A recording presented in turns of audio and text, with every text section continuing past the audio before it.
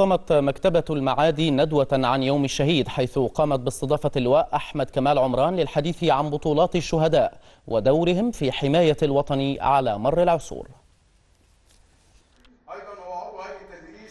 عايز أقول إن يوم الشهيد 9 مارس سنة 1969 استشهد الفريق عبد المنعم رياض رئيس أركان حرب القوات المسلحة.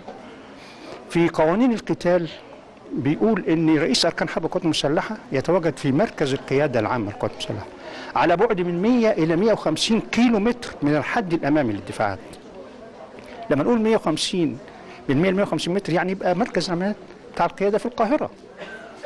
الفريق بن مراد طلع قدام للحدود الأمامية وقف عند الحد الأمامي وكان واقف بيدير النيران بتاعت المدفعية. إحنا عايزين نقول لشبابنا من هو البطل الكبير عبد المنعم رياض.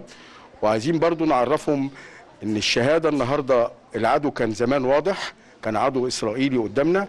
دلوقتي العدو اختلف وطرق الحرب اختلفت. بقى في عدو من بيننا في الإرهاب سواء بيقاوم رجال الشرطة أو رجال الجيش أو بيقاوم الشعب نفسه فاحنا بنقول إن الشهادة واحدة طالما كلها في سبيل مصر يوم زي النهارده طبعا سنة 1969 كان طبعا استشهاد الفريق أول عبد المنعم رياض وطبعا هو بطل من أبطال اللي هو تقدم الصفوف للقوات المسلحة بنفسه مع إنه قائد عظيم. وطبعا إحنا النهارده جايين بنحضر الندوة وبنؤازر طبعا الناس الشهداء وطبعا أنا بنتهز الفرصة ديت إن أنا بعزي جميع الشهداء الجيش والشرطة والشعب اللي في الأحداث الأخيرة وأحداث طبعا على مدار الحروب الماضية بالكامل يعني. النهارده هو في ندوه عاملاها مكتبة المعادي بخصوص الشهيد عبد المنعم رياض الله يرحمه ويغفر له.